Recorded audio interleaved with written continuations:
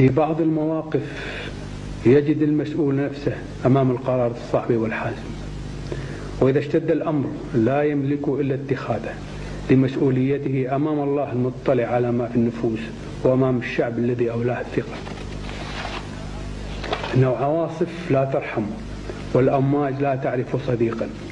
لهذا كان لزاما علي وفاء للأمانة التي أحملها في عنقي ومن دافع مسؤوليتي تجاه هذا البلد الطيب والشعب الكريم أن أصدر أمرا أميريا بحل مجلس الأمة ووقف بعض مواد الدستور بعد أن رأينا ما سيحيق بوطننا وشعبنا العزيز فيما لو استمرت الأوضاع على ما هي عليه. وإننا بعون الله وتوفيقه لن نتخلى عن مسيرتنا النيابية التي آمنا بها بما يكفل المحافظة على الكويت وشعبها.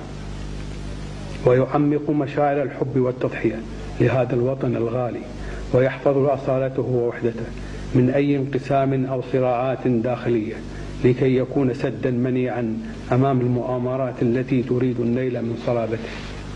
وستبقى الكويت وشعبها العربي سندا لأمتها العربية وقضاياها المصيرية. وعونا لأمتها الإسلامية وشريعتها السمحاء.